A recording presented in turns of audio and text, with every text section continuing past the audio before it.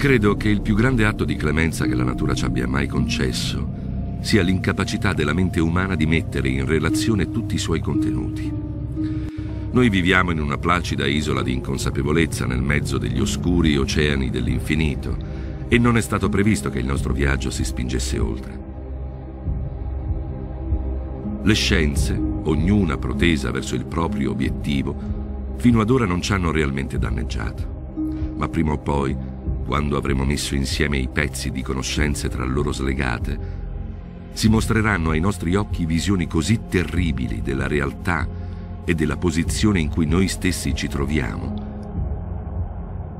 che non potremo far altro che impazzire per la rivelazione, oppure fuggire dalla luce mortale verso la pace e la salvezza di una nuova età oscura.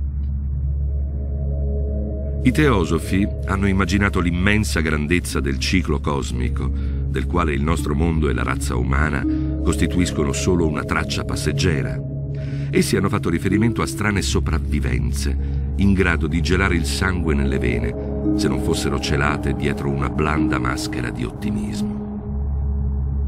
Ma non è da loro che proviene quell'unico scorcio di eoni proibiti che mi agghiaccia al solo pensiero e che mi fa perdere la testa ogni volta che irrompe nei miei sogni.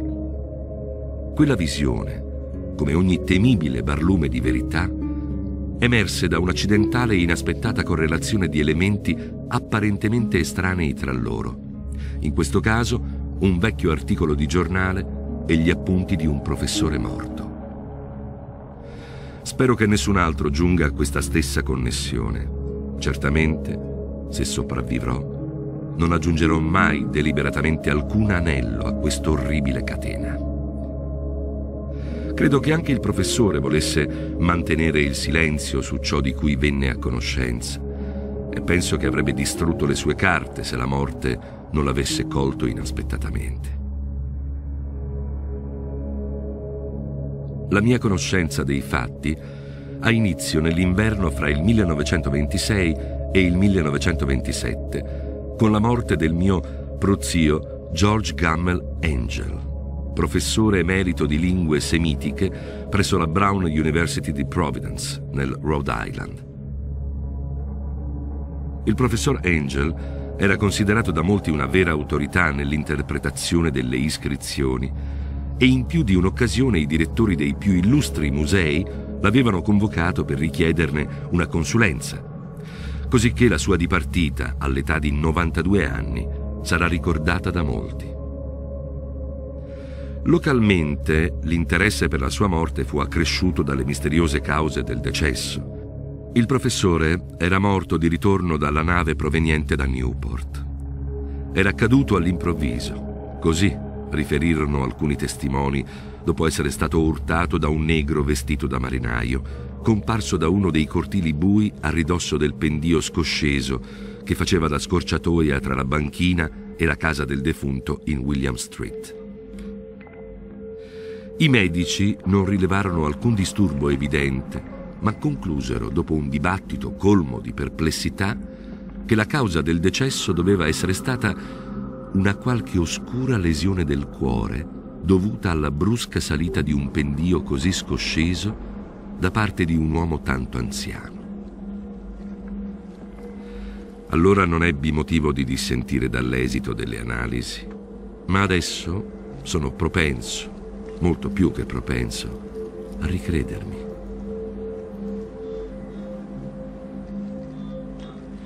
In quanto erede ed esecutore testamentario di mio zio, morto vedovo e senza figli, avevo il compito di esaminare con attenzione le sue carte e a tale scopo spostai tutto il suo archivio e le sue scatole ricolme di documenti nel mio appartamento di Boston.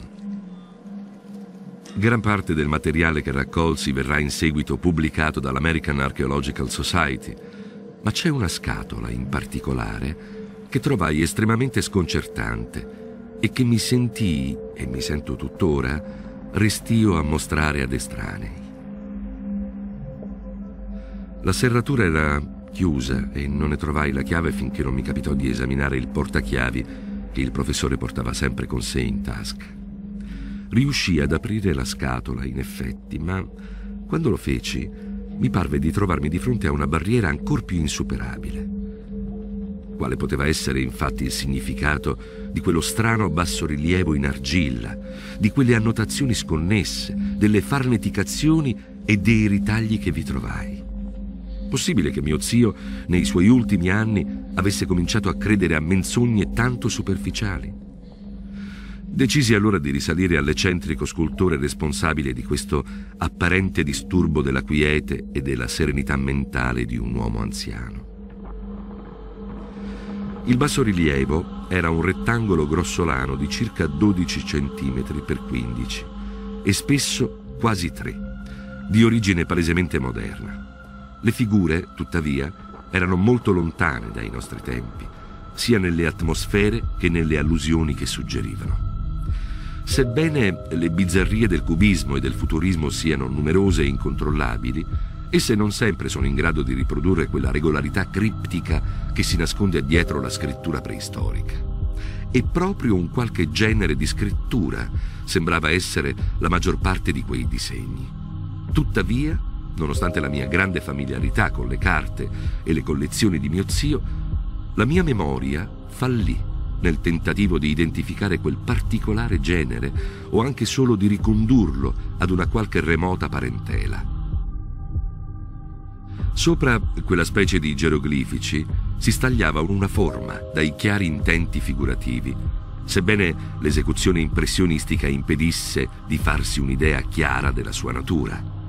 Sembrava trattarsi di una sorta di mostro o di simbolo rappresentante un mostro, una forma che solo un'immaginazione malata avrebbe potuto partorire. Se dicessi che nella mia mente emersero simultaneamente le immagini di una piovra, di un drago e di una caricatura umana, non sarei tanto infedele allo spirito di quella cosa. Una testa flaccida e irta di tentacoli sovrastava un corpo grottesco e squamoso, dal quale si stagliavano due ali rudimentali. Tuttavia, era il profilo generale dell'insieme a spaventarmi oltre ogni dire. Alle spalle della figura una vaga suggestione di architetture ciclopiche.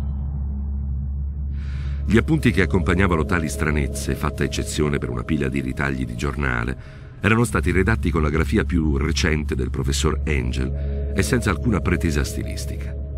Quello che sembrava essere il documento principale si intitolava Il culto di Cthulhu, in caratteri stampati con scrupolo per evitare la lettura erronea di una parola così insolita. Il manoscritto era diviso in due sezioni intitolate rispettivamente 1925 Sogno e attività onirica di H.A. Wilcox, Thomas Street 7, Providence, Rhode Island, e Il racconto dell'ispettore John Legras, Bienville Street 121, New Orleans, Louisiana. Riunione dell'American Archaeological Society del 1908.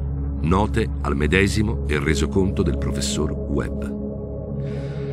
I restanti documenti manoscritti erano pieni di appunti. Alcuni riportavano i racconti di strani sogni fatti da diverse persone, altre citazioni tratte da libri e riviste di teosofia, specialmente da Atlantide e la perduta Lemuria di William Scott Elliott. Altri ancora si riferivano ad antiche società segrete e a culti oscuri, con estratti da fonti mitologiche e antropologiche come Il ramo d'oro di Fraser e Culti di streghe dell'Europa occidentale di Miss Murray. Gli appunti alludevano anche ad eccentrici disturbi mentali e ad episodi di follia collettiva risalenti alla primavera del 1925. La prima metà del manoscritto principale raccontava una storia davvero singolare.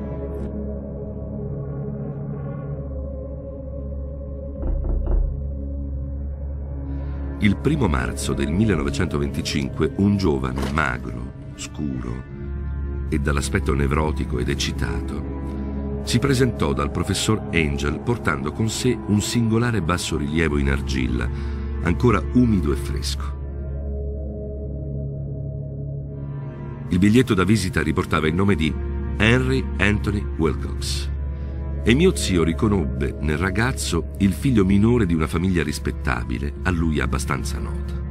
Il giovane aveva studiato scultura presso la Rhode Island School of Design e viveva da solo all'interno del Fleur de Lis Building, vicino all'istituto. Wilcox era un giovane precoce di genio riconosciuto, ma anche molto eccentrico, e fin dall'infanzia aveva attirato una certa attenzione su di sé a causa delle strane storie e dei sogni singolari che era solito raccontare. Usava definirsi mentalmente ipersensitivo. Ma gli austeri abitanti di quella cittadina mercantile tendevano a chiamarlo semplicemente bizzarro. Non si era mai mescolato molto con i suoi simili e aveva gradualmente abbandonato la società, finendo con l'essere conosciuto soltanto all'interno di alcuni gruppi di artisti di altre città. Persino il Providence Art Club, ansioso di preservare le proprie tradizioni, aveva perso ogni speranza di recuperarlo. In occasione di quella visita, riporta il manoscritto del professore, lo scultore aveva richiesto con urgenza le competenze archeologiche del padrone di casa per identificare i geroglifici del bassorilievo. Lo scultore parlava in modo artefatto e ampolloso, con un atteggiamento che suggeriva quell'affettazione che tendeva ad alienargli le simpatie della gente. E mio zio aveva mostrato una certa durezza nel rispondere, visto che l'evidente freschezza della tavoletta suggeriva affinità con tutto fuorché con l'archeologia.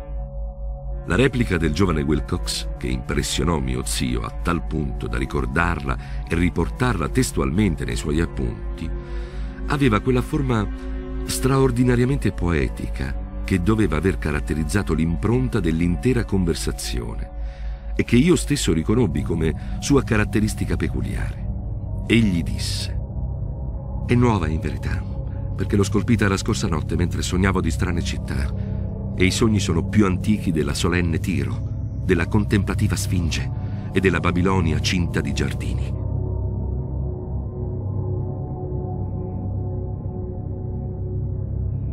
Fu lì che incominciò quel racconto sconnesso basato sul ricordo di un sogno, il quale ottenne un interesse quasi febbricitante da parte di mio zio. La notte precedente si era verificata una leggera scossa di terremoto, la più alta avvertita nel New England da anni, e l'immaginazione di Wilcox ne era rimasta vivamente colpita.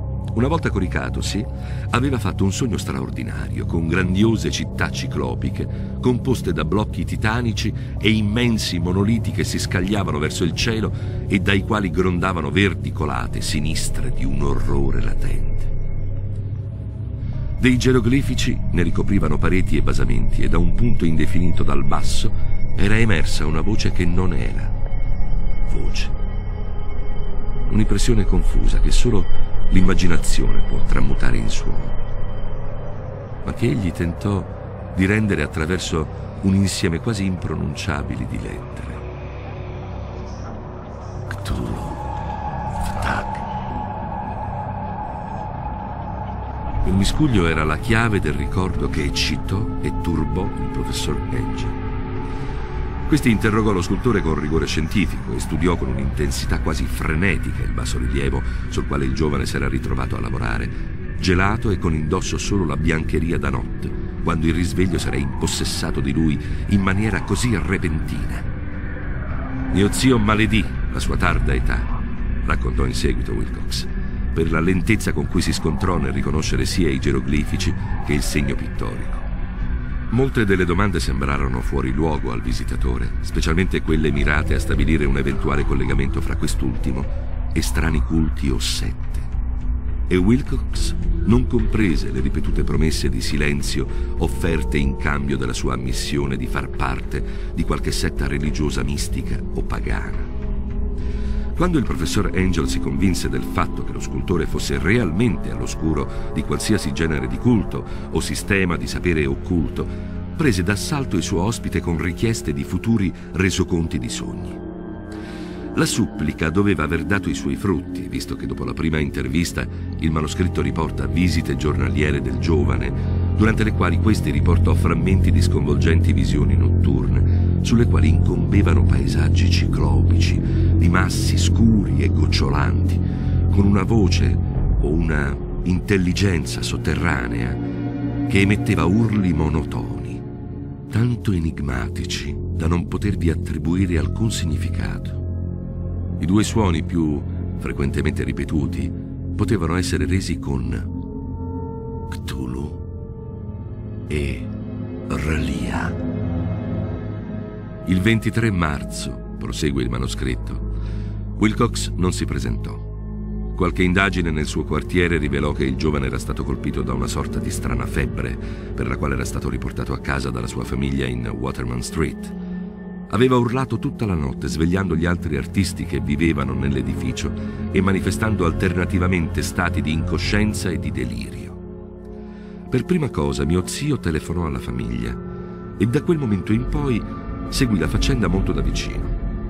Si recò spesso a far visita al dottor Toby, che seppe essere il medico curante presso il suo ufficio di Tyre Street.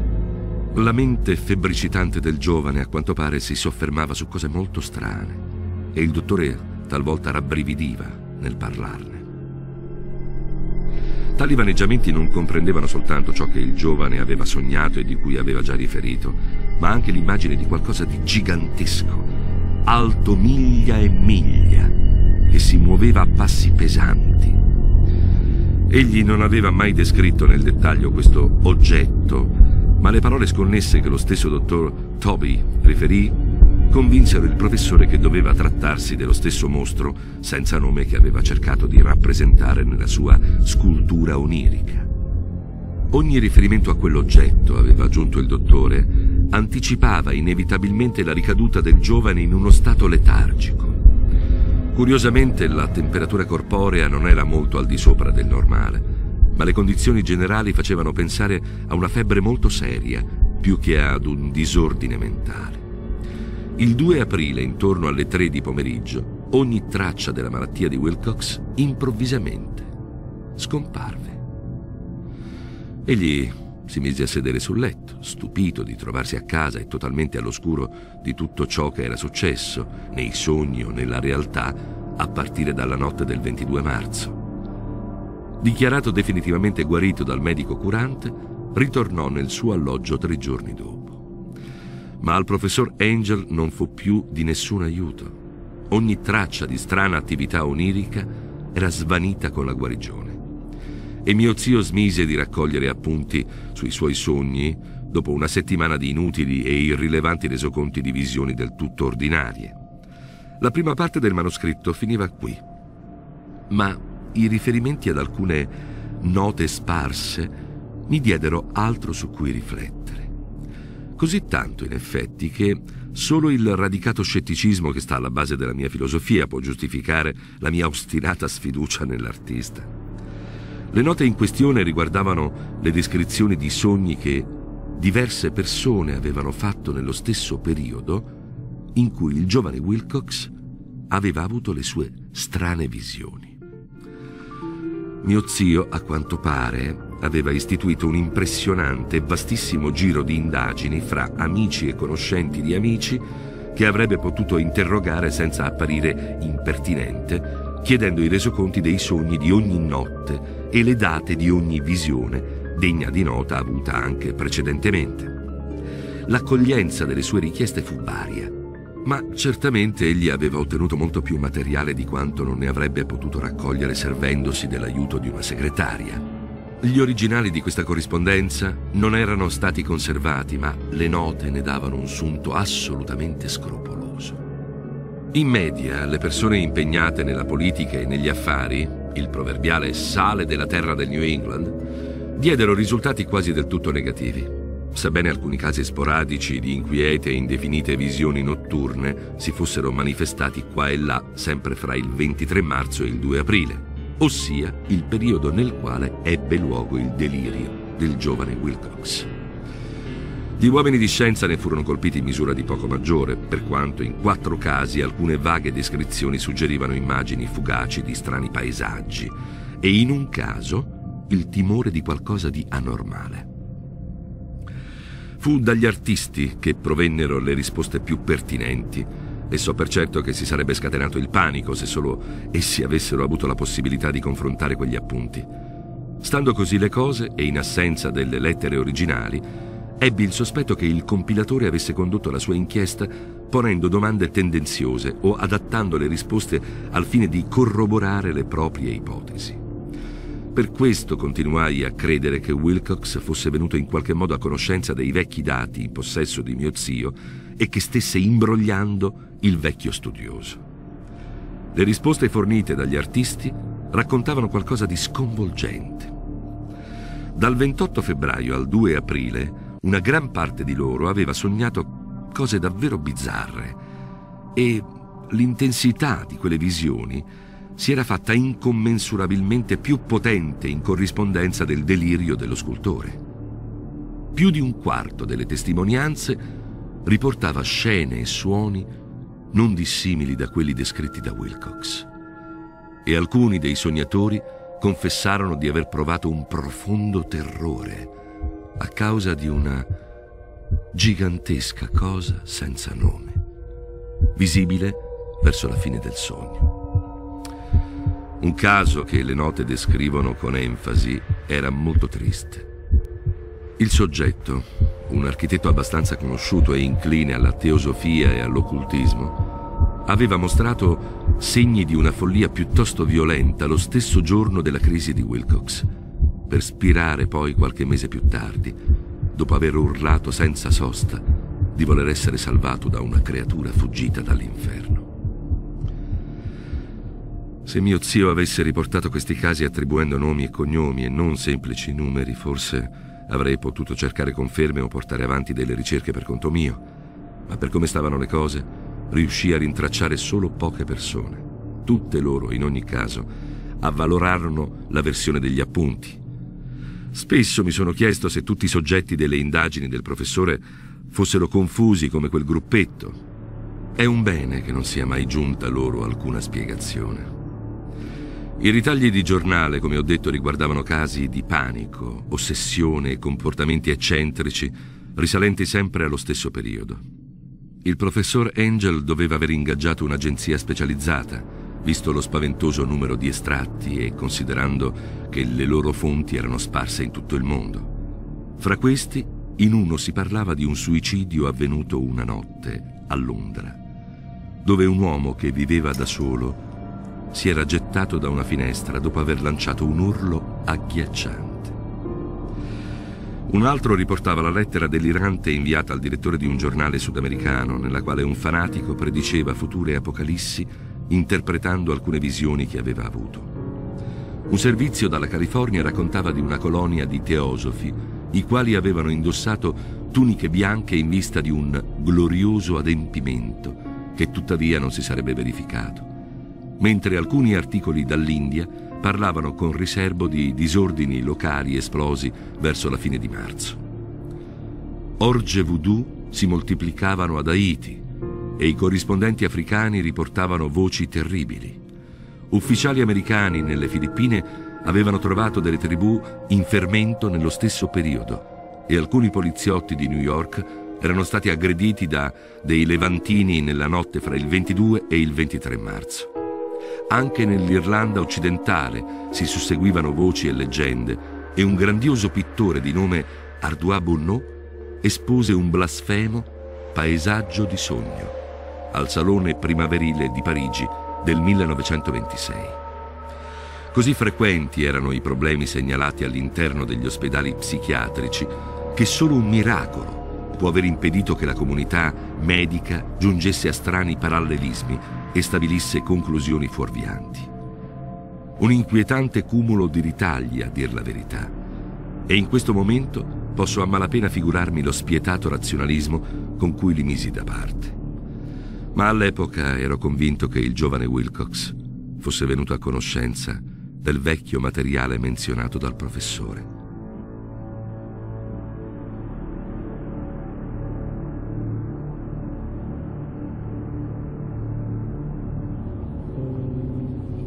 Il vecchio racconto che aveva reso il sogno dello scultore così significativo agli occhi di mio zio costituisce l'argomento della seconda metà di questo lungo manoscritto. Già in un'altra occasione, a quanto pare mio zio aveva intravisto il profilo infernale di quel mostro senza nome Si era incaponito su quei geroglifici sconosciuti e aveva ascoltato quelle infauste sillabe trascrivibili soltanto con la parola Cthulhu. Tutto ciò lasciava presupporre tali elettrizzanti e orribili connessioni che non c'è da meravigliarsi se in seguito mio zio avrebbe incalzato il giovane Wilcox con domande e richieste di informazioni. Questa esperienza precedente risale al 1908, 17 anni prima, quando l'American Archaeological Society tenne il suo convegno annuale a St. Louis.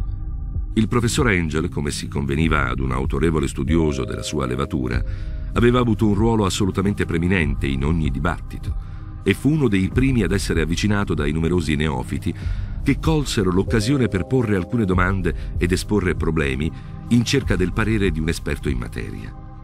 Il più importante fra questi non addetti ai lavori, che quasi subito si pose al centro dell'attenzione dell'intero convegno, era un uomo di mezza età dall'aspetto abbastanza ordinario e proveniente da New Orleans, che aveva viaggiato in lungo e in largo alla ricerca di informazioni che, a quanto pare, non avrebbe potuto ottenere da nessuna fonte locale. Il suo nome era John Raymond Legras ed era un ispettore di polizia. Aveva portato con sé l'oggetto della sua visita, una grottesca, ripugnante e apparentemente antichissima statuetta di pietra, le cui origini non era ancora riuscito a determinare. Non che l'ispettore Legras nutrisse il benché minimo interesse per l'archeologia, in realtà. Al contrario, la sua ricerca di delucidazioni era dovuta a considerazioni professionali pure e semplici. La statuetta, l'idolo, il feticcio o qualsiasi altra cosa fosse, era stato ritrovato qualche mese prima nelle paludi boscose del sud di New Orleans, durante una retata nel corso di un supposto raduno voodoo.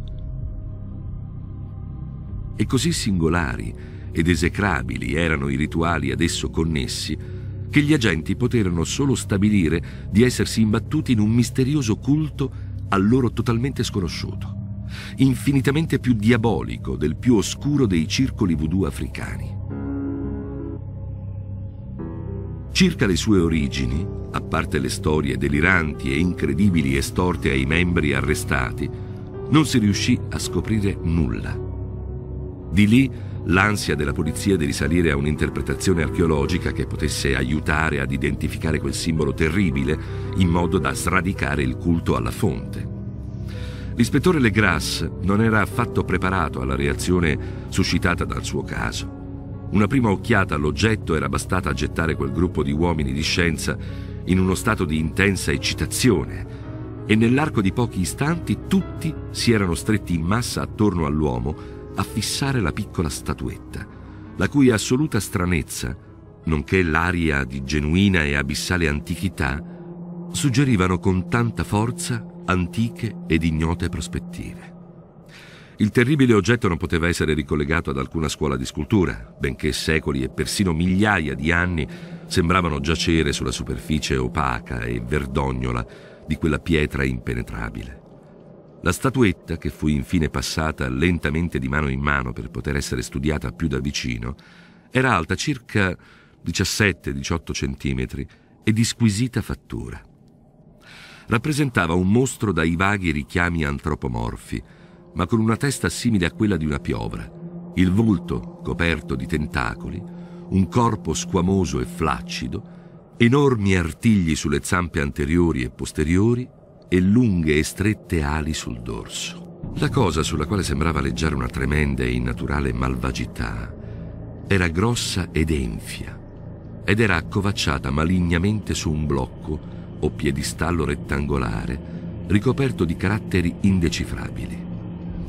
La punta delle ali toccava il bordo posteriore del blocco e il corpo ne occupava il centro, mentre gli artigli lunghi e ricurvi delle zampe posteriori ripiegate e rannicchiate, stringevano il bordo frontale del basamento e si allungavano ancora verso il fondo del piedistallo.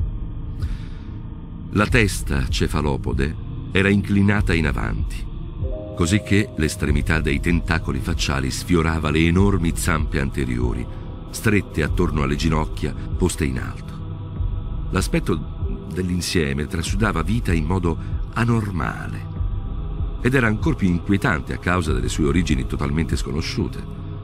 La sua immensa, grandiosa e incalcolabile antichità era innegabile. Eppure non mostrava nessun collegamento con alcuno stile artistico risalente agli albori della civiltà o a qualsiasi altra epoca, in verità. Del tutto insolito e singolare il materiale di cui la statuetta era composta era un mistero.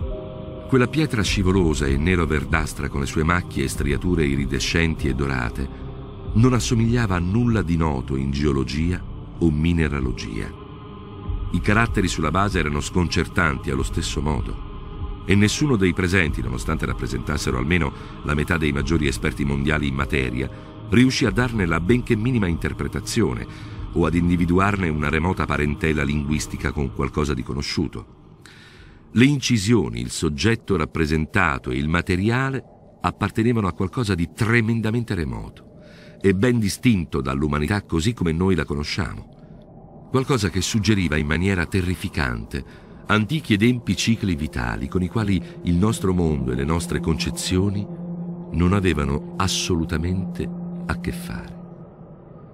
Tuttavia, mentre i membri scuotevano la testa uno ad uno confessando la loro resa di fronte al quesito posto dall'ispettore, ce ne fu uno in quel gruppo che intravide una bizzarra familiarità nell'aspetto del mostro e nella scrittura, e il quale poco dopo riferì timidamente quelle poche informazioni in suo possesso.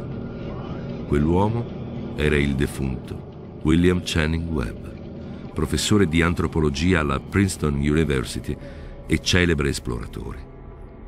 48 anni prima il professor Webb aveva condotto una spedizione in Groenlandia e in Islanda, alla ricerca di alcune iscrizioni runiche che non era riuscito a riportare alla luce.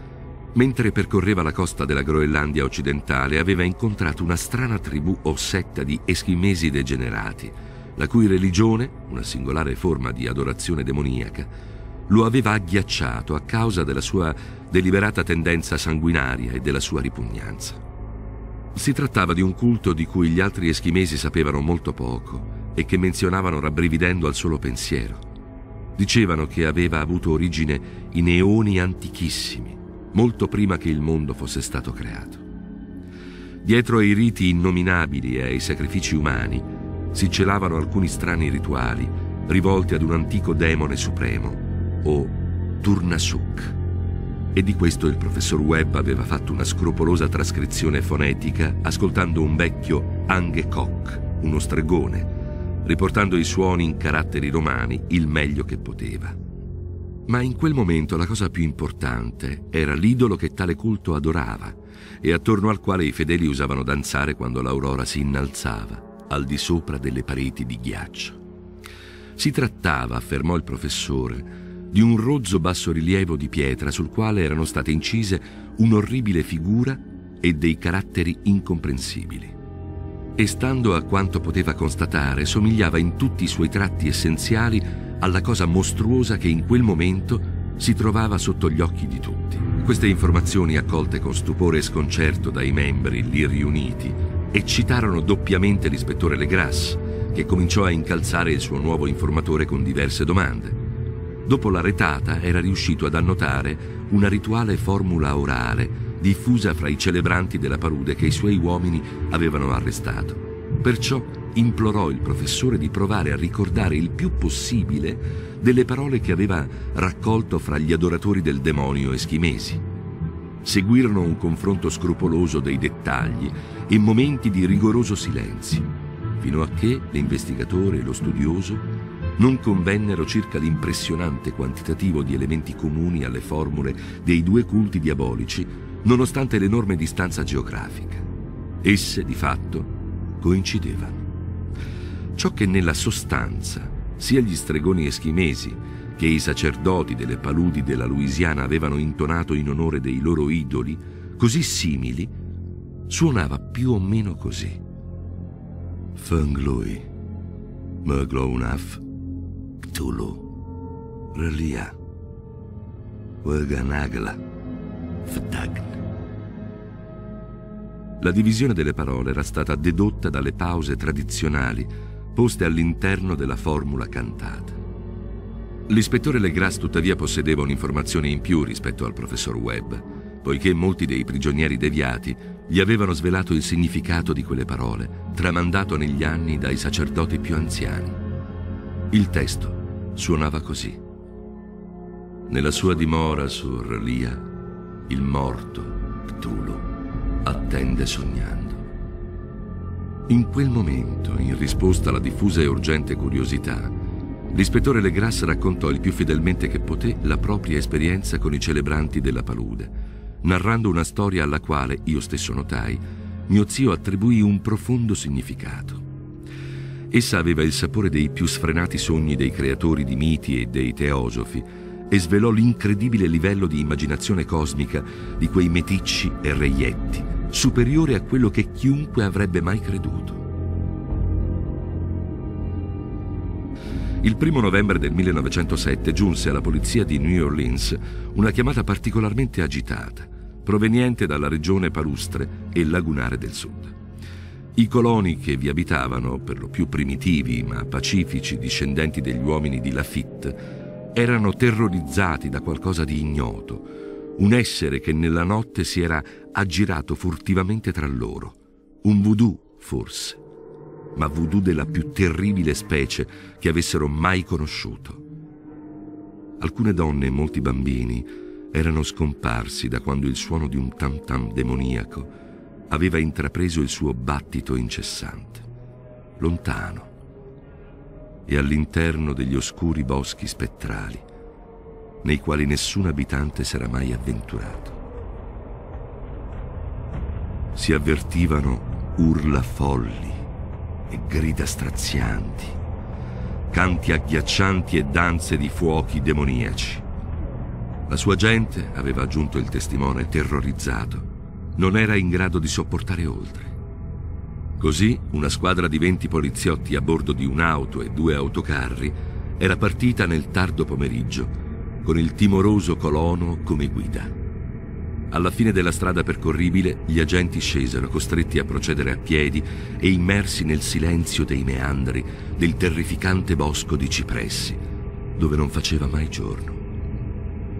Disgustose radici e perfidi nodi di piante rampicanti li circondavano e talvolta mucchi di pietre umide o resti di mura in decomposizione intensificavano insieme alle rovine di morbose dimore la disperazione che ogni albero deforme o isolotto fungoso contribuivano a produrre.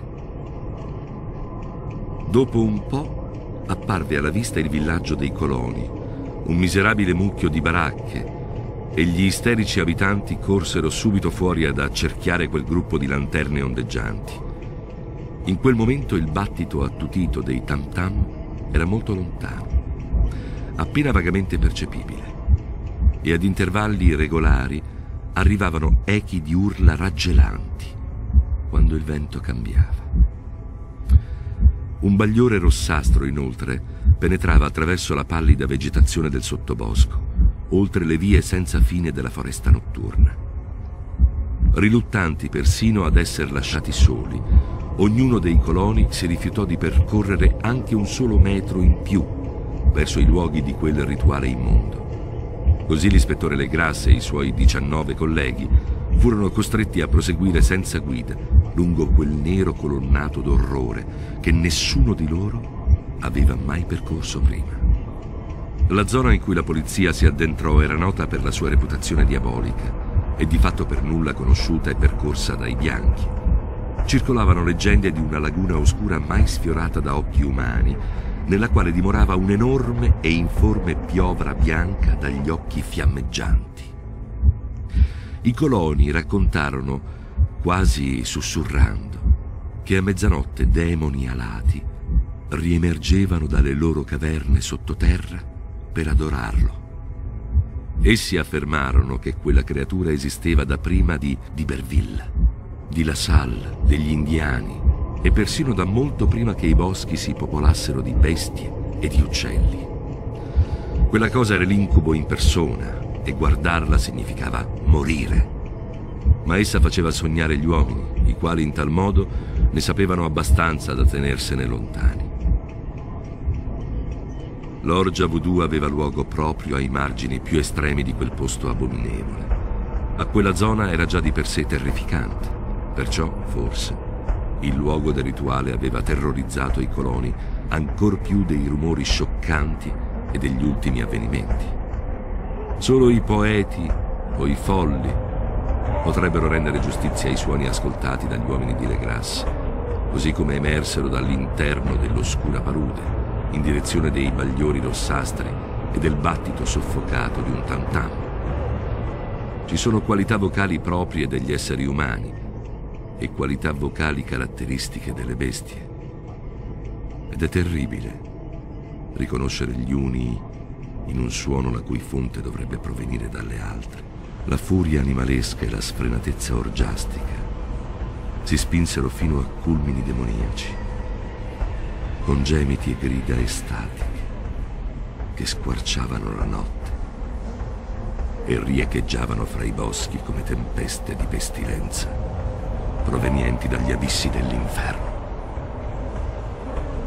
Talvolta gli ululati confusi cessavano e da quello che sembrava un coro ben istruito di voci rauche si innalzava il canto monotono della terribile formula rituale.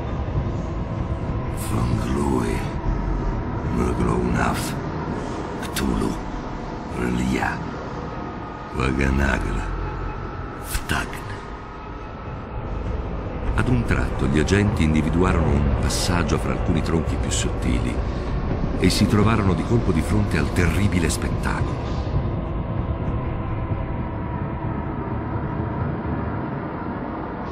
Quattro di loro vacillarono, uno svenne e due lanciarono grida convulse che la folle cacofonia dell'orgia fortunatamente coprì.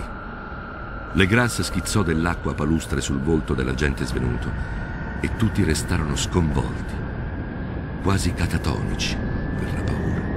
In una radura naturale della palude c'era un isolotto di forse un chilometro di estensione, privo di alberi e abbastanza asciutto. Su di esso balzava e si contorceva un'indescrivibile moltitudine di esseri aberranti che nessuno al di fuori di Sime o Angarola avrebbe potuto dipingere. Privi di vesti, gli ibridi ragliavano, muggivano e si contorcevano attorno ad una pira circolare al centro della quale, rivelato dagli occasionali spiragli nella cortina di fuoco, stava un gigantesco monolite di granito alto circa due metri e mezzo. Sulla sua cima, inappropriata per le sue ridotte dimensioni, c'era l'infausta statuetta. Da un ampio circolo di dieci patiboli disposti a distanze regolari e al cui centro c'era il monolite cinto dalle fiamme, pendevano a testa in giù i corpi martoriati dei poveri coloni scomparsi. Era all'interno di questo cerchio che la catena di adoratori danzava e ruggiva, muovendosi a destra e a sinistra in un baccanale senza fine fra l'anello dei cadaveri e l'anello del fuoco. In verità il silenzio attonito e terrorizzato degli agenti non durò molto.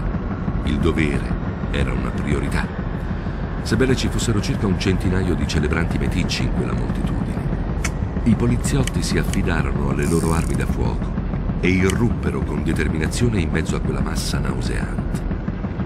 Il baccano e il chiasso che seguirono per cinque minuti non possono essere descritti.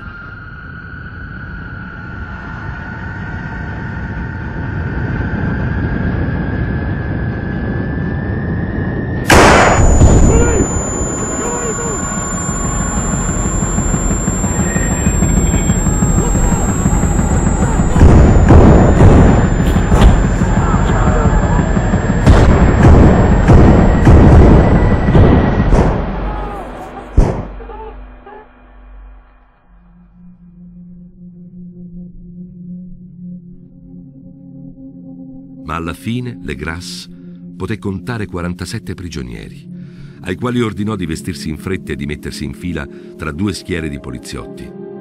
Cinque degli adoratori erano morti, mentre altri due gravemente feriti furono portati via su due barelle improvvisate dai loro compagni prigionieri. La statuetta sul monolite, ovviamente, fu rimossa con cautela e portata via dall'ispettore Legras.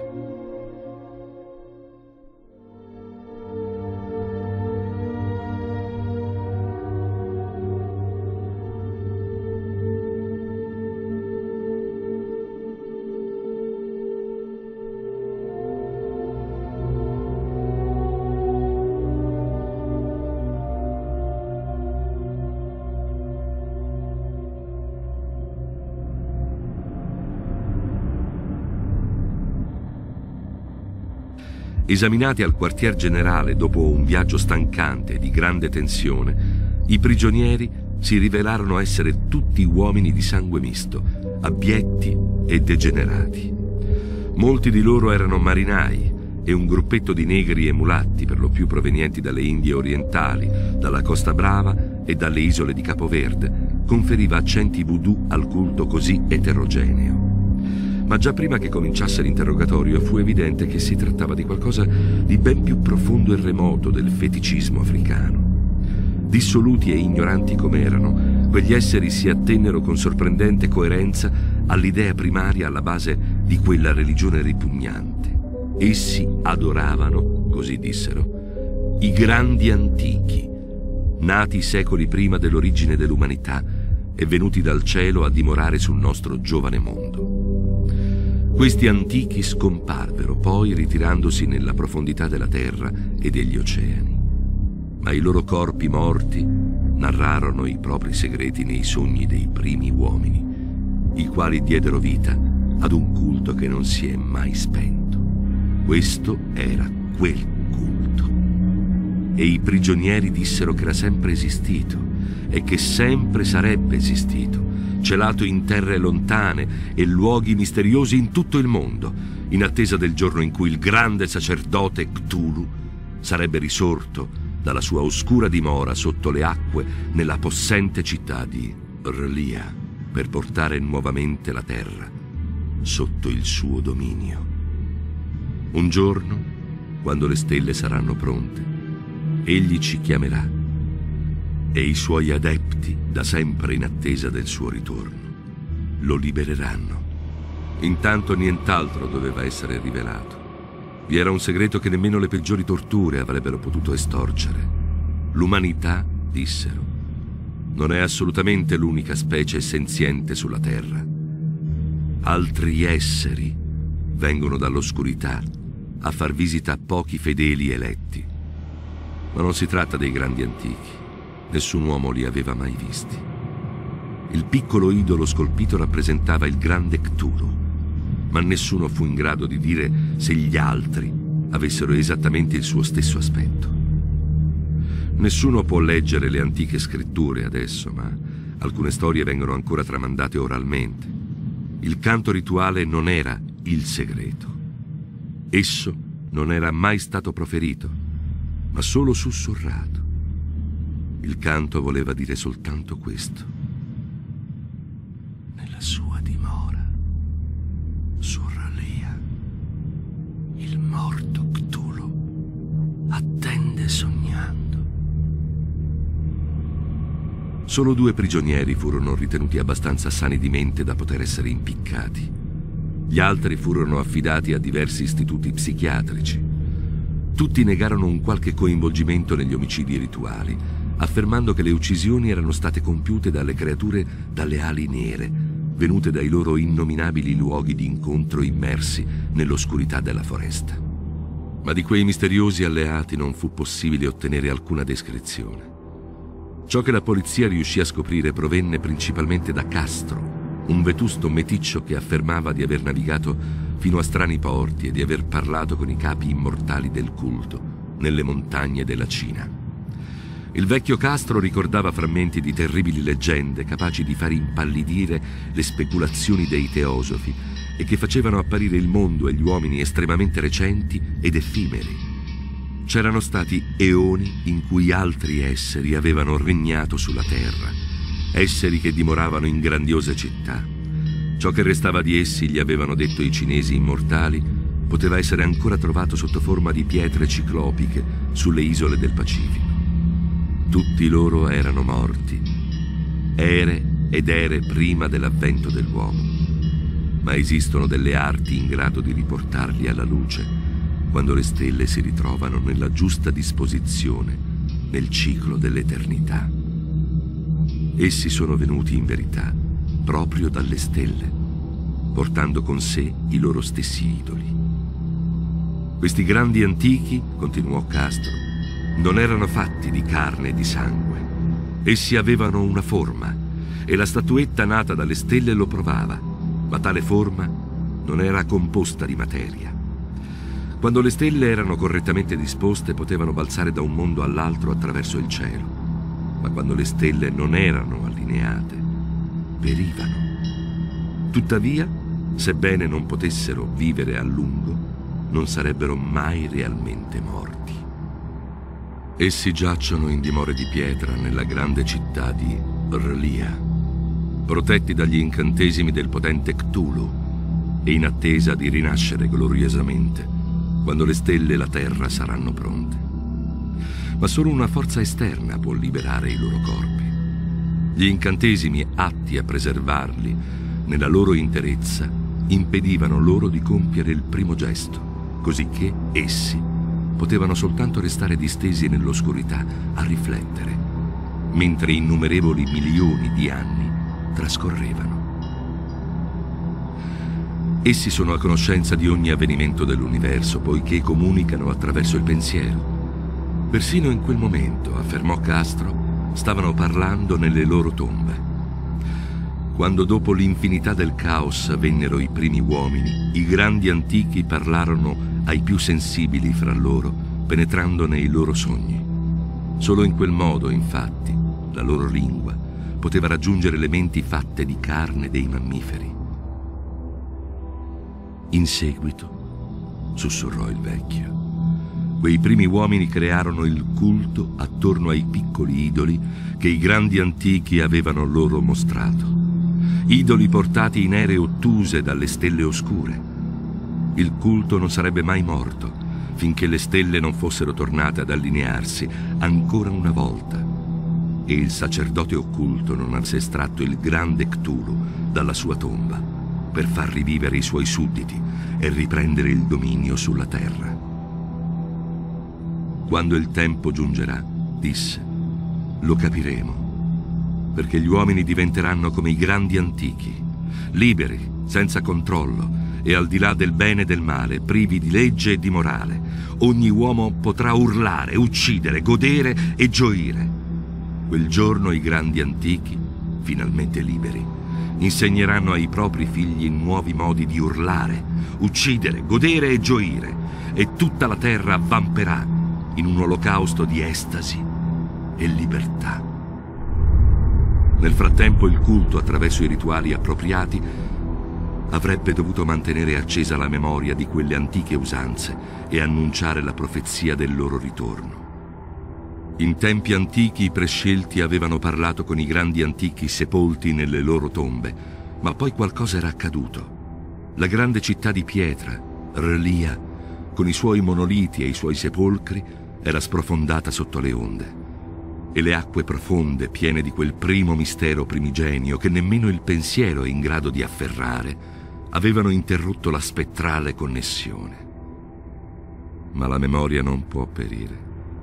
E gli alti sacerdoti dissero che la città sarebbe riemersa ancora quando le stelle si sarebbero disposte nel giusto ordine.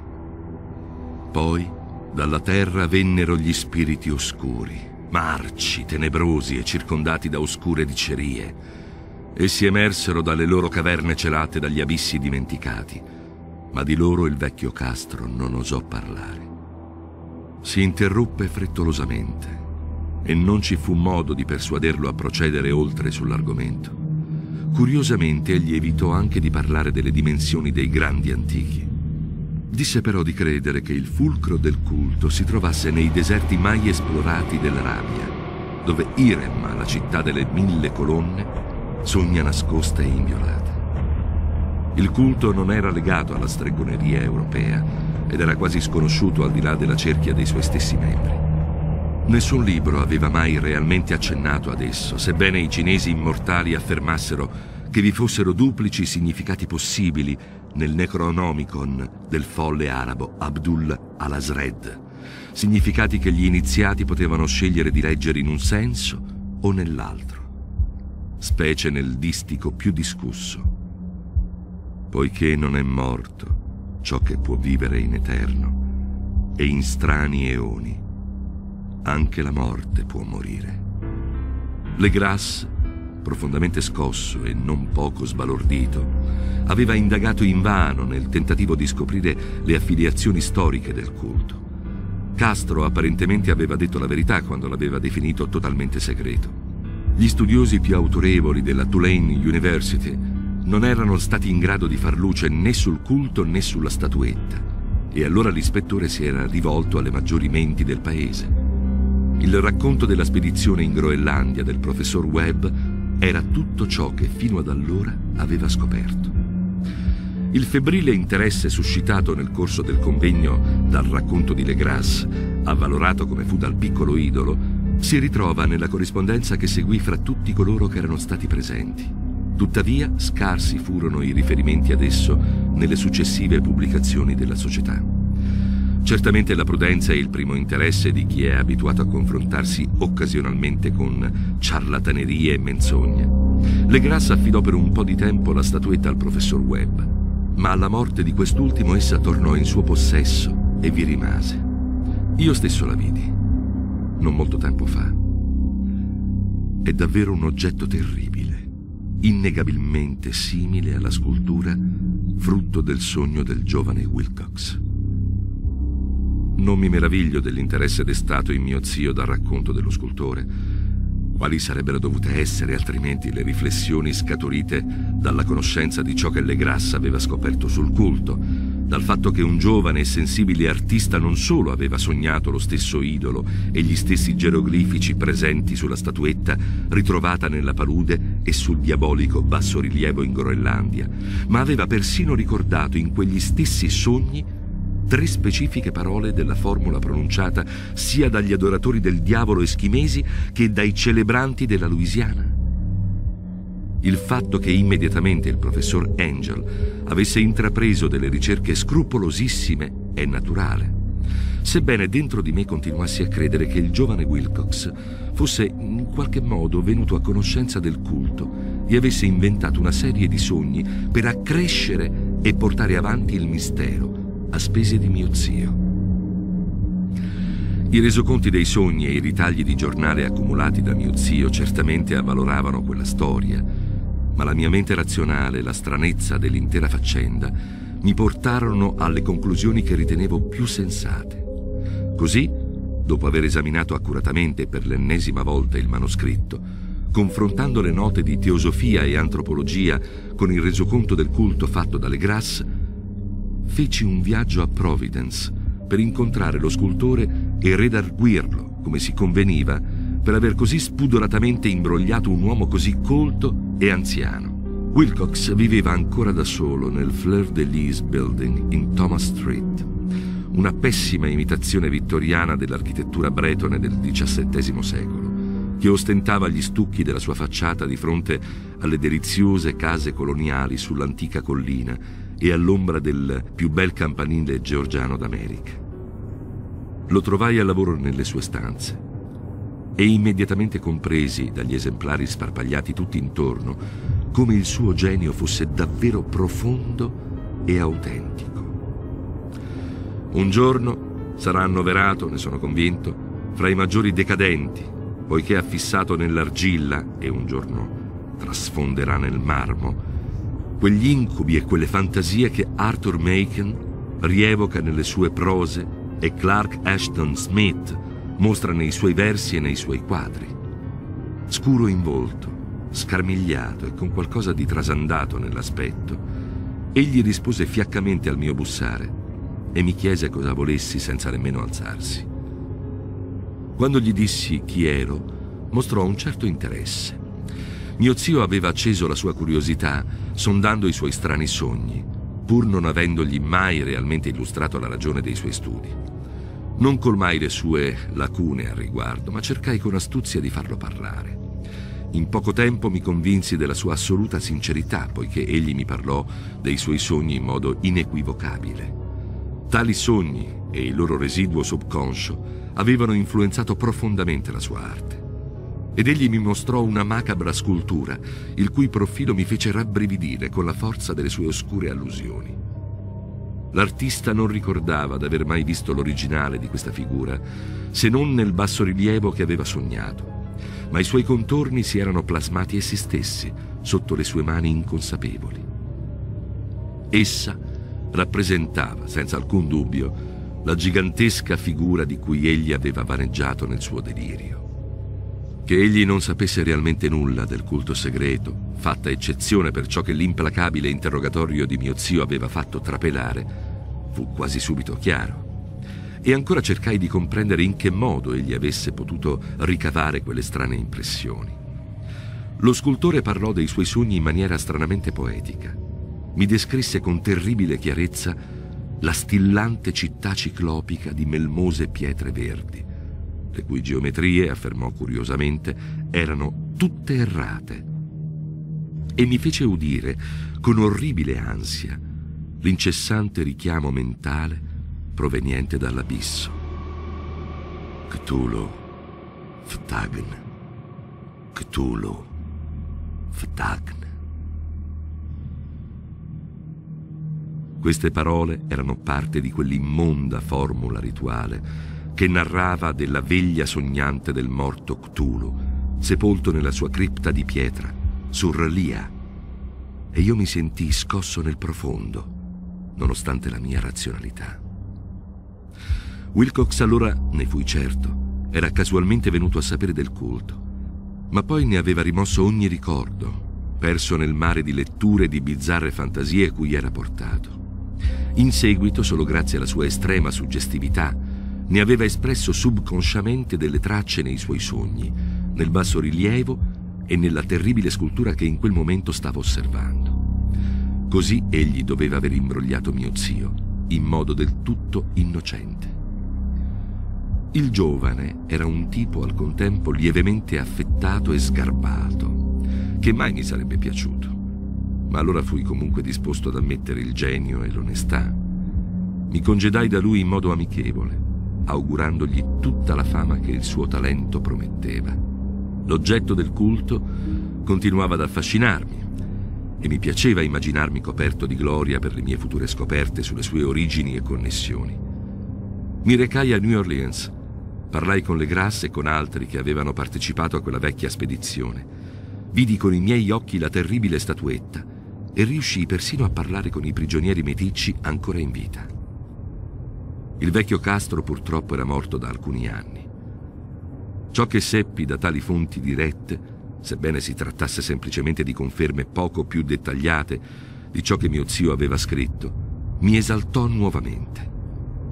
Fui certo di trovarmi sulle tracce di un reale, segretissimo e antichissimo culto religioso la cui scoperta mi avrebbe reso un antropologo di fama internazionale. La mia attitudine era ancora quella del materialista più assoluto, come vorrei che lo fosse ancora.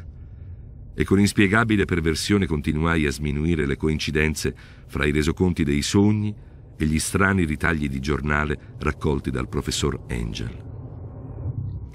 Ciò che cominciai a sospettare e che ora temo di sapere con certezza è che la morte di mio zio fu tutto fuorché naturale. Egli era caduto in un'angusta stradina di collina di fronte alla vecchia banchina brulicante di forestieri meticci, dopo essere stato sbadatamente urtato da un marinaio negro. Non fu in grado di dimenticare il sangue misto e le abitudini marinaresche dei membri del culto della Louisiana. E non mi stupirei di venire a conoscenza di metodi segreti e veleni crudeli e antichi quanto quei rituali e quelle credenze. Le grasse e i suoi uomini, è vero, sono stati lasciati in pace, ma in Norvegia un marinaio testimone di certi fatti è morto. Possibile che le accurate ricerche di mio zio in seguito al suo incontro con lo scultore fossero giunte ad orecchie indiscrete? Credo che il professor Angel sia morto perché sapeva troppo o perché era in procinto di sapere più di quanto gli fosse concesso. Non resta che scoprire se anche io farò la sua stessa fine, poiché anche io adesso so troppe cose.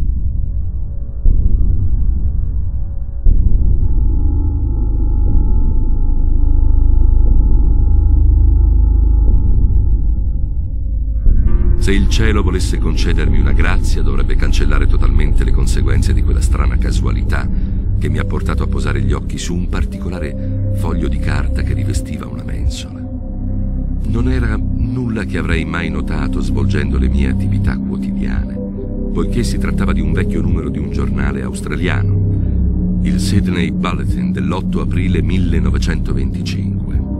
Quella pagina era sfuggita persino all'agenzia specializzata che all'epoca già collezionava con fervore il materiale per le indagini di mio zio.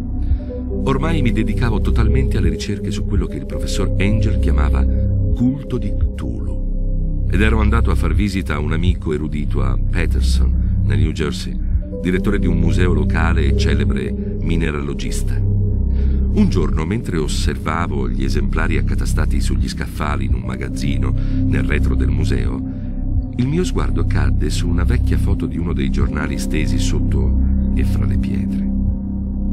Si trattava proprio del Sydney Bulletin di cui ho scritto. Il mio amico infatti poteva contare su una rete di conoscenze che si estendeva in ogni parte del mondo.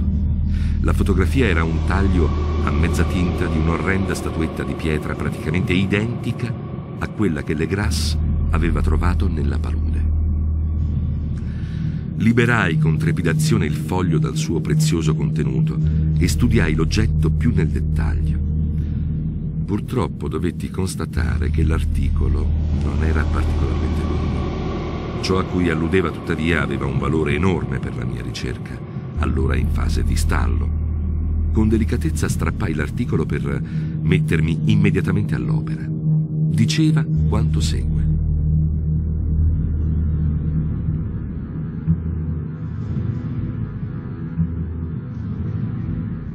Misterioso relitto trovato in mare.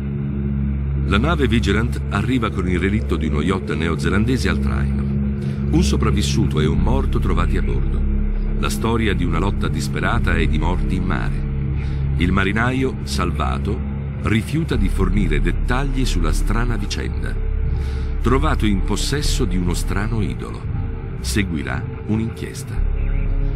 Il mercantile Vigilant della Morrison Co., partito da Valparaíso, ha raggiunto questa mattina il porto di Darling Harbour con al traino lo yacht a vapore Alert di Dunedin, Nuova Zelanda, completamente distrutto e fuori uso ma ancora armato, avvistato il 12 aprile a 34 gradi 21 primi di latitudine sud e 152 gradi 17 primi di longitudine ovest, con a bordo un superstite ed un morto.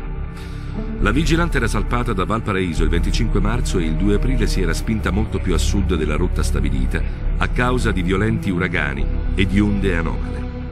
Il 12 aprile il relitto è stato avvistato e sebbene sembrasse abbandonato sono stati trovati a bordo un sopravvissuto in uno stato di semidelirio e un uomo che evidentemente è deceduto da più di una settimana.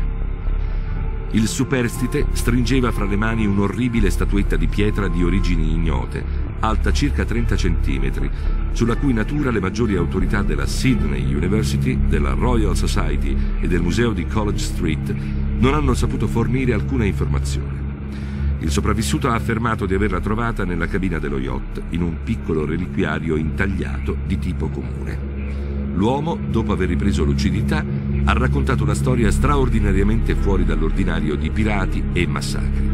Il suo nome è Gustav Johansen un norvegese di discreta intelligenza, secondo ufficiale della goletta Due Alberi Emma di Auckland, partita per Callao il 20 febbraio con un equipaggio di 11 uomini. La Emma, ha raccontato, fu deviata e scagliata a sud della rotta da un'eccezionale tempesta del primo marzo e il 22 marzo, a 49 gradi 51 primi di latitudine sud e 128 gradi 34 primi di longitudine ovest, incontrò la Alert, il cui equipaggio era composto da una banda di strani canachi e mezzo sangue dall'aspetto malvagio. Quando fu intimato agli uomini della Emma di tornare indietro, il capitano Collins si rifiutò. A quel punto lo strano equipaggio cominciò a far fuoco selvaggiamente e senza preavviso sulla goletta, con una batteria particolarmente pesante di cannoni, parte dell'armamento dello yacht.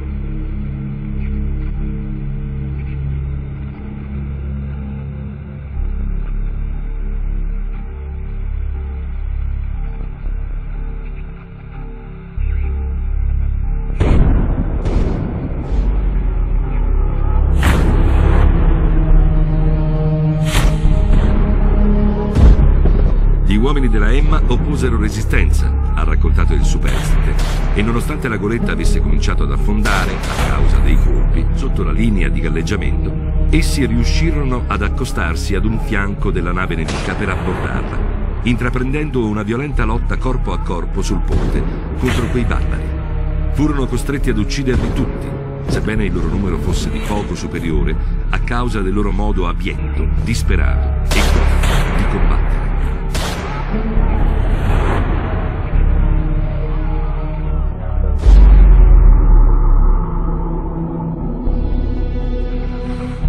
Tre uomini dell'equipaggio della Emma, compreso il capitano Collins e il primo ufficiale Green, rimasero uccisi.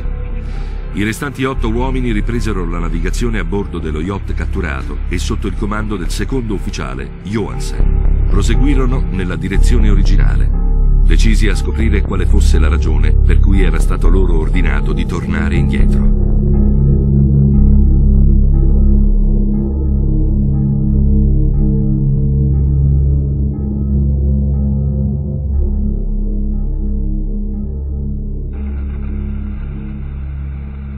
Il giorno successivo, a quanto pare, avvistarono una piccola isola e vi attraccarono, sebbene non se ne conosca nessuna in quella parte dell'oceano. Sei degli uomini morirono raggiunta la riva, ma Johansen è ancora piuttosto reticente su questa parte della storia e ha accennato soltanto ad una loro caduta in un crepaccio.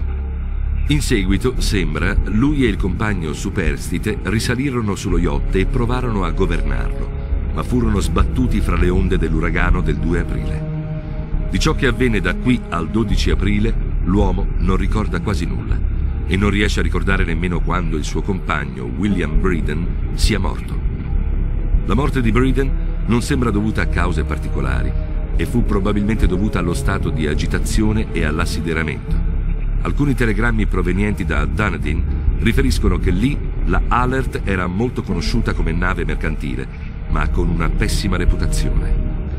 Essa era di proprietà di un curioso gruppo di meticci, le cui frequenti riunioni e missioni notturne destavano non poca curiosità.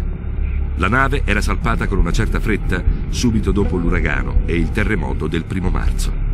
Il nostro corrispondente di Auckland riferisce invece che la Emma e il suo equipaggio godevano di un'eccellente reputazione e Johansen è descritto come un uomo virtuoso e misurato.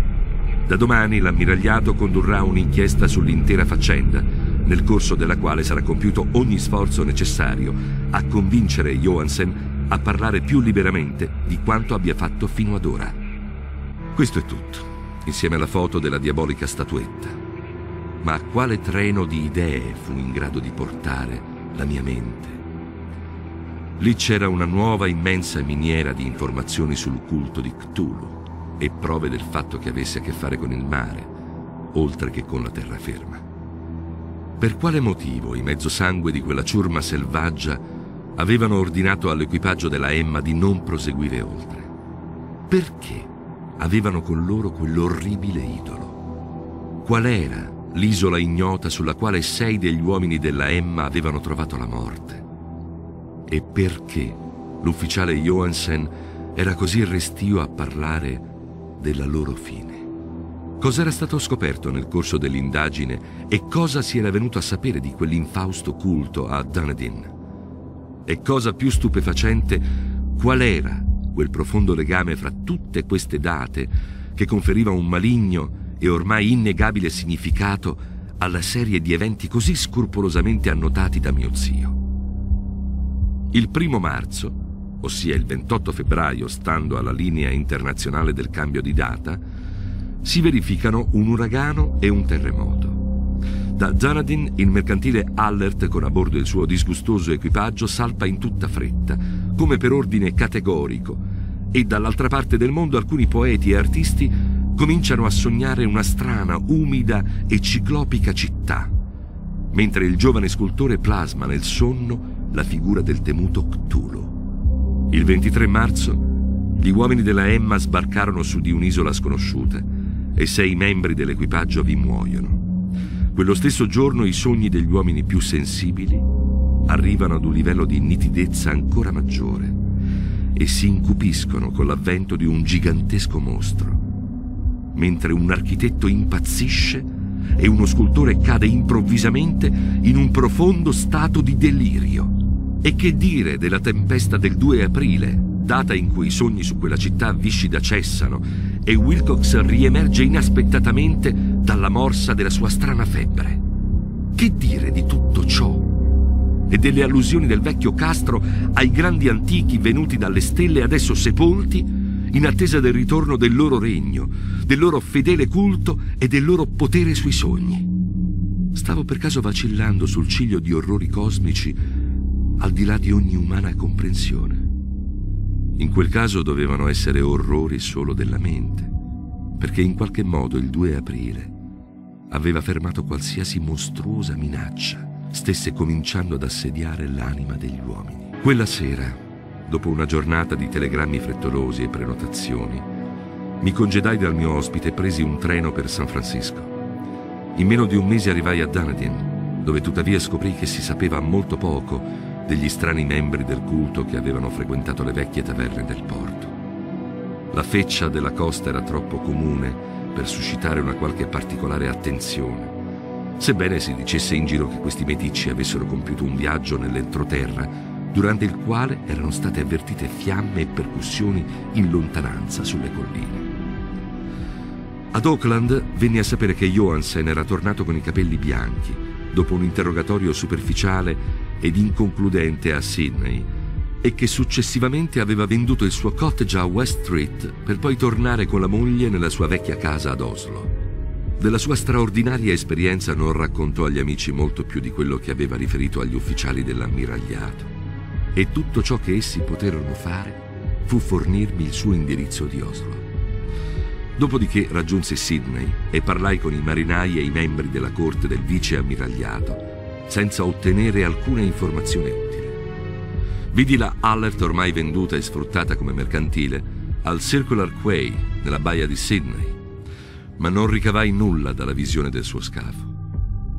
L'idolo accovacciato con la testa da piovra, il corpo di drago, le ali squamose e il piedistallo decorato da geroglifici era conservato al museo di Hyde Park ed io lo osservai da vicino, a lungo e con attenzione, trovandolo di fattura malevolmente pregiata e avvolto dalla stessa assoluta, misteriosa e terribile antichità caratterizzato da quella stessa sinistra stranezza nel materiale che avevo già notato nella versione più piccola di Le Grasse. Per i geologi, mi riferì il curatore del museo, si trattava di un mistero insolubile. Essi giurarono che in nessuna parte del pianeta è possibile trovare una roccia come quella. Ed io pensai subito, rabbrividendo, a ciò che il vecchio Castro aveva detto alle Grasse a proposito delle origini dei grandi antichi. Essi sono venuti, in verità, proprio dalle stelle, portando con sé i loro stessi idoli. Scosso da tali rivoluzioni mentali che mai avevo provato, decisi allora di far visita all'ufficiale Johansen ad Oslo. Salpato per Londra mi rimbarcai nuovamente per raggiungere la capitale norvegese e un giorno d'autunno attraccai sul pontile ben attrezzato all'ombra del Legeberg Scoprì che l'indirizzo di Johansen si trovava nella città vecchia del re Harald Hardrada, la quale tenne vivo il nome di Oslo per tutti i secoli in cui la città più grande ebbe il nome di Cristiania. Compii il breve viaggio con una vettura pubblica. Una volta arrivato bussai con il cuore palpitante alla porta di un bel edificio antico dalla facciata intonacata. Una donna dall'aspetto molto triste e vestita di scuro rispose alla chiamata e rimasi trafitto dalla delusione quando ella mi disse in un inglese incerto che Gustav Johansen ci aveva lasciati. Non era sopravvissuto al suo ritorno, disse la moglie, perché gli eventi del 1925 l'avevano profondamente distrutto. Lui non le aveva raccontato niente di più di quello che aveva riferito pubblicamente, ma le aveva lasciato un lungo manoscritto di questioni tecniche, come lei mi disse, redatto in inglese con il chiaro intento di tenerla lontana dal rischio di letture casuali.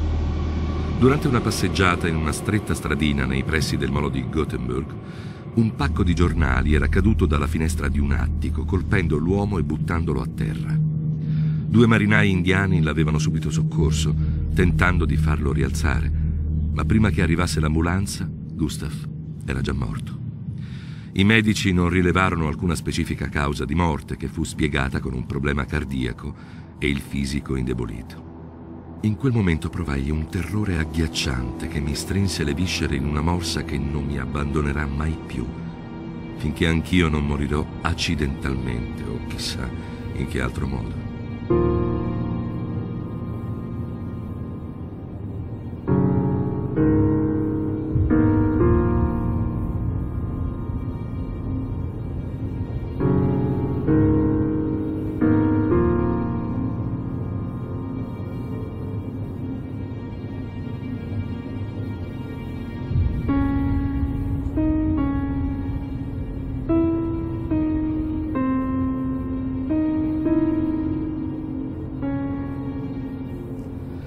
Riuscì a convincere la vedova del fatto che il mio legame con le questioni tecniche del marito fosse tale da permettermi di accedere al manoscritto. Così portai via il documento e ne iniziai la lettura sul battello per Londra.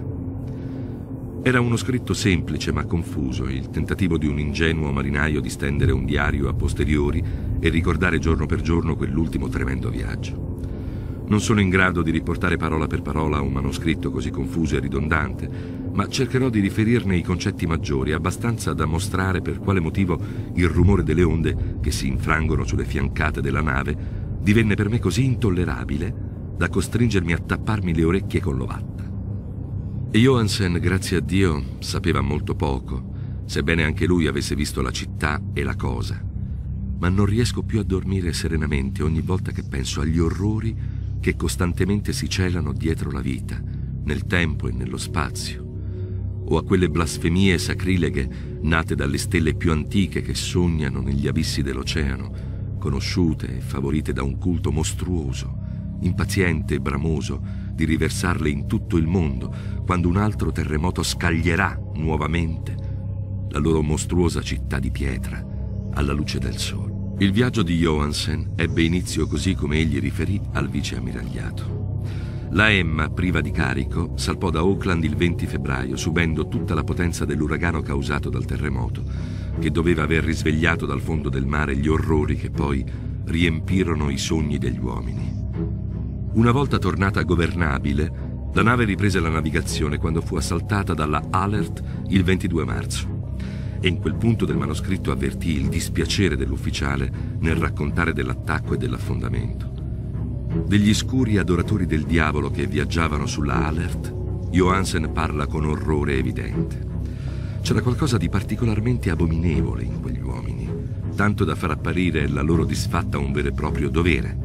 E Johansen mostrò uno stupore quasi ingenuo nel momento in cui la sua ciurma venne accusata di spietatezza durante il processo della corte d'inchiesta. In seguito, condotti dalla curiosità a bordo dello yacht catturato e sotto il comando di Johansen, gli uomini videro un enorme pilastro di pietra spuntare dal mare.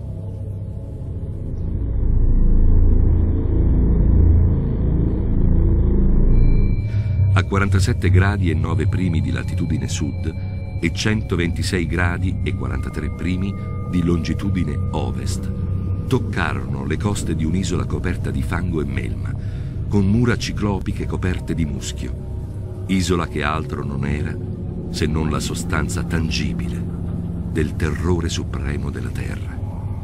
La città cadavere di Relia, costruita innumerevoli eoni prima dalle immense e ripugnanti creature piombate sulla terra, dalle stelle oscure.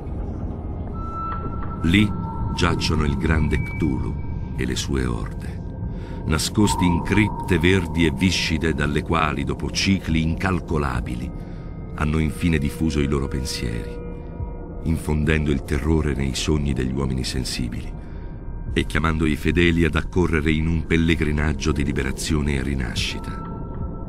Johansen non sospettava nulla di tutto ciò, ma Dio sa se in seguito non avrebbe visto abbastanza. Credo che solo una cima della montagna, l'orribile città cinta di monoliti nella quale il grande Cthulhu era sepolto, sporgesse realmente dalle acque. Quando penso all'estensione e all'essenza di tutto ciò che rimugina lì sotto, quasi sento il desiderio impellente di uccidermi. Johansen e i suoi uomini restarono sbalorditi dalla maestà cosmica di quella grondante Babilonia di antichi demoni e dovevano aver indovinato, pur senza alcun aiuto, che non c'era nulla di simile in questo o in qualunque altro sano pianeta. Intimoriti dall'incredibile imponenza delle verdognole lastre di pietra, dall'altezza vertiginosa del grande monolite inciso e dalla stupefacente somiglianza fra quelle statue colossali, i bassorilievi e lo strano idolo ritrovato nel reliquiario sulla Alert, tutta l'angoscia provata dall'ufficiale è palpabile in ogni singola riga del suo resoconto. Senza sapere cosa fosse il futurismo, Johansen si era avvicinato a qualcosa di molto simile nel parlare della città. Anziché descrivere edifici o strutture specifiche, egli si era soffermato soltanto sull'impressione generale datagli dagli ampi angoli e dalle superfici di pietra, superfici troppo fuori dal comune per appartenere ad alcuna cosa propria di questa terra, empia di orribili figure e geroglifici. La geometria del luogo, scriveva, era anormale, non euclidea, e ricordava sgradevolmente sfere e dimensioni lontane da quelle conosciute. Fu allora che un marinaio illetterato provò le stesse sensazioni mentre fissava lo sguardo sulla terribile verità. Johansen e i suoi uomini sbarcarono su di un pendio vischioso della mostruosa acropoli e scivolando si arrampicarono lungo titanici blocchi di pietra coperti di melma, i quali non potevano essere gradini concepiti per esseri mortali. Il sole appariva distorto in cielo, se lo si guardava attraverso i densi miasmi esalati da quella perversione impregnata di mare, mentre ansia e pericolo si aggiravano malvagi, celati dietro gli angoli follemente elusivi delle rocce scavate dove un secondo sguardo rivelava una concavità laddove il primo aveva mostrato una superficie convessa. Qualcosa di molto simile al terrore era piombato sugli esploratori prima ancora che essi vedessero qualcosa di più definito di una roccia, del fango e delle alghe. Ognuno di loro sarebbe fuggito se non avesse temuto il disprezzo dei compagni e fu solo con estremo timore che i marinai cercarono, invano in verità, qualcosa da poter portar via a testimonianza di quanto avevano visto. Fu il portoghese Rodriguez che si arrampicò fino al basamento del monolite. Poco dopo urlò d'aver trovato qualcosa. Il resto del gruppo lo raggiunse e si trovò di fronte ad una gigantesca porta scolpita. Su di essa figurava il bassorilievo, adesso familiare, della piovra drago. Era, scrive Johansen, simile ad un enorme portone. Tutti gli uomini capirono che si trattava di una porta grazie agli architravi ornati, alla soglia e agli stipiti attorno ad essa, sebbene non riuscissero a capire se fosse incassata di piatto come una sorta di botola o traversalmente. Come avrebbe in seguito affermato lo stesso Wilcox, la geometria del luogo era totalmente errata. Non si poteva essere certi del fatto che il mare e il terreno si estendessero orizzontalmente. Conseguenza le rispettive posizioni di ogni altra cosa apparivano irrealmente variabili. Briden provò a spingere la roccia in diversi punti, ma senza risultati. Allora Donovan premette lungo il bordo, facendo pressione su ogni singolo punto che poté. Si arrampicò per un tempo che parve interminabile sulla grottesca modanatura di pietra, o meglio, si può dire che si stesse arrampicando ammettendo che la porta si stagliasse in verticale. E gli uomini si chiesero se potesse mai esistere nell'universo un portone di tali maestose dimensioni. A un certo punto, delicatamente e lentamente, la parte superiore dell'enorme superficie cominciò ad inclinarsi verso l'interno e gli uomini notarono che era bilanciata.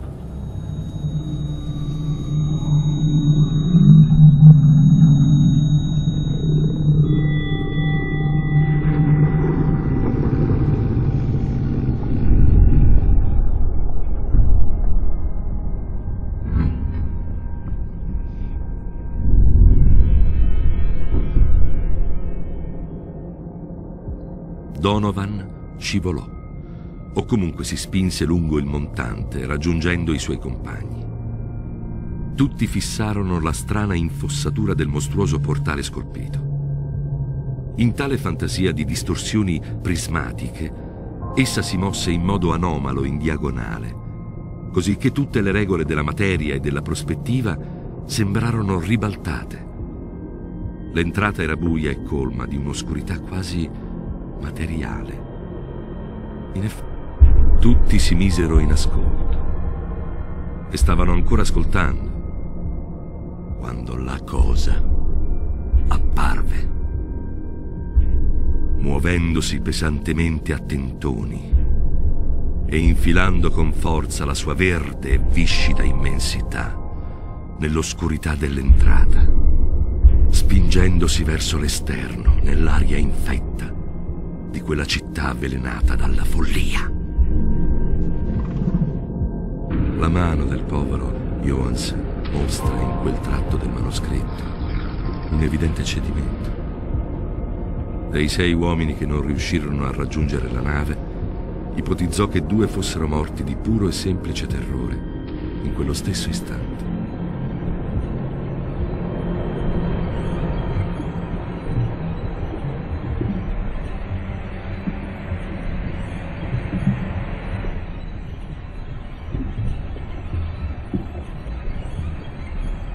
Esiste lingua in grado di esprimere tali abissi di urlante antica pazzia, tali sovrannaturali contraddizioni della materia, della forza e dell'ordine cosmico.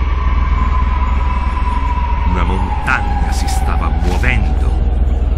Dio! Come meravigliarsi se nello stesso istante, dall'altra parte del mondo, un architetto impazziva e il povero Wilcox cadeva vittima di vaneggiamenti e veniva colto da tale delirio telepatico. La cosa rappresentata dagli idoli, la verdastra e viscida discendente delle stelle, si era risvegliata e reclamava ciò che era suo.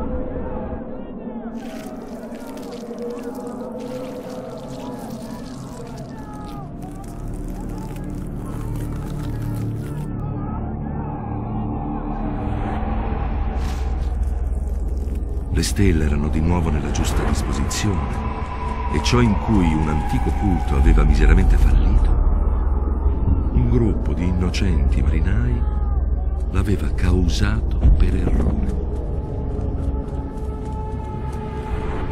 Dopo miliardi di anni, il grande Cthulhu era nuovamente libero, fremente di gioia estatica.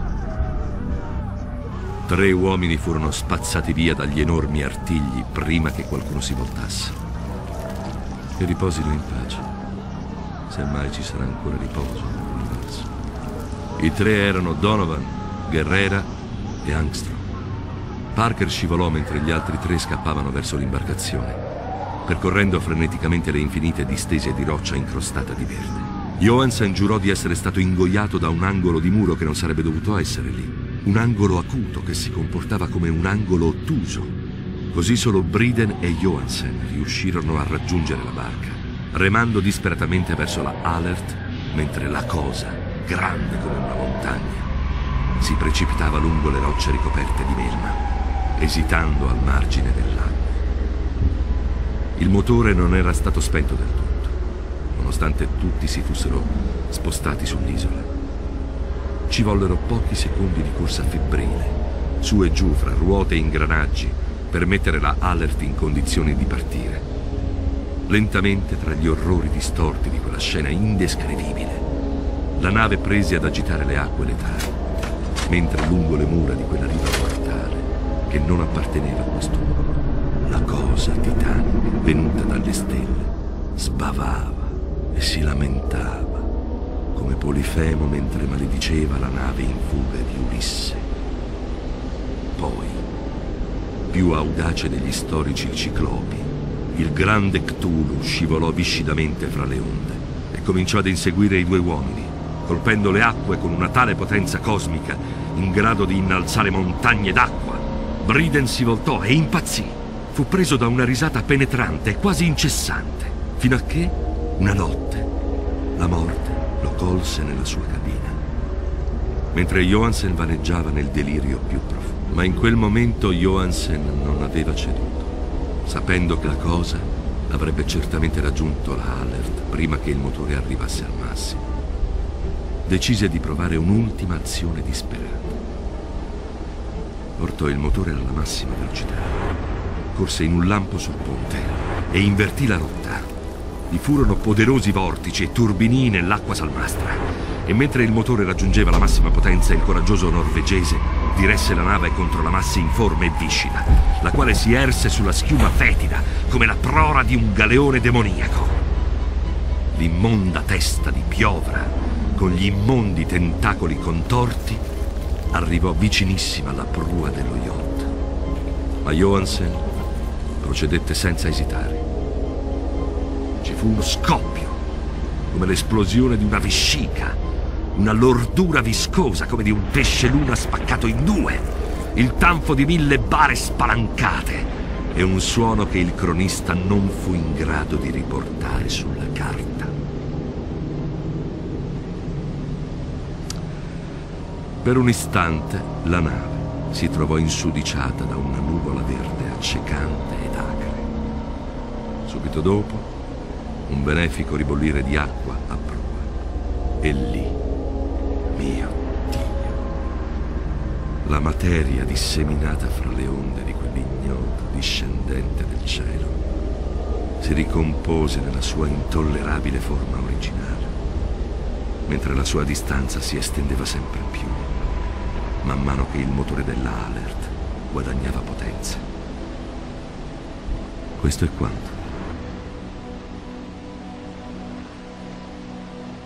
In seguito, Johansen rimuginò sull'idolo ritrovato nella cabina e si preoccupò di procurarsi del cibo per sé e per il compagno, ormai perso nel suo delirio sogghignante. Non tentò di nuovo di governare la nave dopo quella fuga così audace. Quella reazione aveva privato la sua anima di qualcosa. Poi venne la tempesta del 2 aprile e sulla sua coscienza scese la nebbia. La mente di Johansen fu presa da un senso di spettrale turbinio nei baratri liquidi dell'infinito, da cavalcate vorticose in universi vacillanti, lungo la coda di una cometa e da tuffi isterici dagli abissi alla luna e dalla luna agli abissi, il tutto animato dal coro cochinnico degli dei antichi, distorti ed ilari e dei verdi e beffardi demoni alati del Tartaro. In quel sogno arrivò la salvezza. La Vigilant, la corte del vice ammiragliato, le strade di Dunedin e il lungo viaggio verso la vecchia casa all'ombra dell'Egeberg. Johansen non sarebbe più stato in grado di parlare. Tutti lo avrebbero creduto pazzo. In seguito, prima di morire, avrebbe lasciato scritto ciò che aveva visto. Sua moglie non avrebbe mai dovuto saperne nulla. La morte fu un sollievo per lui.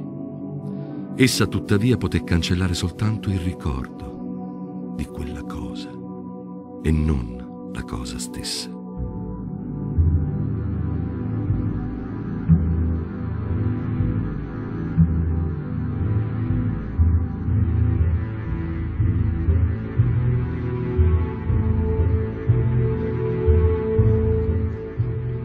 Questo è il manoscritto che lessi. Adesso l'ho messo via, nella piccola scatola che contiene anche il bassorilievo e le carte del professor Angel. Insieme ad essi finirà anche questo mio manoscritto, questa testimonianza della mia sanità mentale in cui è ricostruito tutto ciò di cui spero nessuno sarà più capace di ricongiungere le fila. Guardato oltre il baratro dei più profondi orrori dell'universo. Persino i cieli di primavera e i fiori estivi adesso non sono che veleno per me. Ma non credo che vivrò ancora per molto. Come mio zio se n'è andato e come Johansen se n'è andato, così farò io stesso. So troppe cose e il culto vive ancora. Anche Cthulhu vive ancora, credo, in quell'abisso di pietra che l'ha protetto fin da quando il sole era giovane. La sua città maledetta è sprofondata nuovamente, poiché la Vigilant in seguito ha solcato di nuovo quelle stesse acque subito dopo l'uragano di aprile. Ma i suoi sacerdoti sulla terra gemono, pregano e uccidono ancora, attorno ai monoliti coronati di idoli in luoghi sperduti. La creatura deve essere rimasta intrappolata nello sprofondamento degli abissi oscuri. Se così non fosse, il mondo starebbe ancora urlando, pervaso dal terrore e dalla più profonda follia. Chi conosce la fine? Ciò che è riemerso può nuovamente sprofondare e ciò che è sprofondato può ancora rinascere. L'abominio attende e sogna nella profondità del mondo diffondendo rovina e decadenza sulle vacillanti città degli uomini. Verrà il tempo, ma non posso e non voglio pensarci. Concedetemi solo una preghiera. Se non sopravvivrò a questo manoscritto, i miei esecutori testamentari antepongano la cautela alla curiosità e si assicurino che queste carte non incontrino lo sguardo di nessun altro essere umano.